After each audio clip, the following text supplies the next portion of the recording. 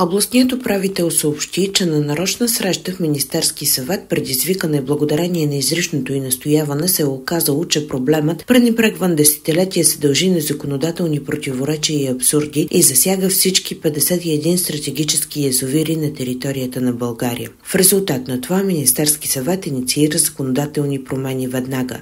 Язовир Копринка е язовир от първа степен на потенциална опасност за населението, поради липса на изяснена собствена собственост към настоящият момент не е възможно изграждането на оповестителна система, карта на разливите, почистване на водите и териториите около язовира. Не са регламентирани дейностите, в резултат на което се констатират множество нарушения, каза Ива Радева и допълни, че сега на ход са Министерски съвет. Язовир Копринка фигурира в капитала на Националната електрическа компания и едновременно с това е публична държавна собственост, за което обаче няма документ. Той той е язовир с национално значение и е класифициран първа степен. Тази седмица предстои втора среща между заинтересованите министерства, за да може да се реши как ще стане изваждането на 40-те язовира от капитала на Националната електрическа компания. Ще бъдат необходими и законови промени в закона за водите, за да може собствеността над стратегическите водни обекти да бъде регламентирана.